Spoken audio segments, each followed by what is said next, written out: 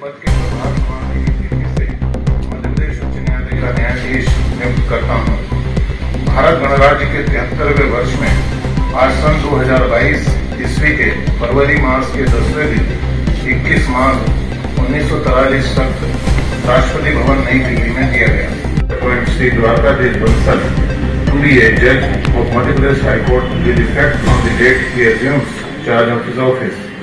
Given at Rashtrapati Bhavan, New Delhi, this 10th day of February in the year by law established that I will uphold the sovereignty and integrity of India, that I will uphold the sovereignty and integrity of India, that I will duly and faithfully and to the best of my ability, knowledge and judgment perform the duties of my office without fear or favor,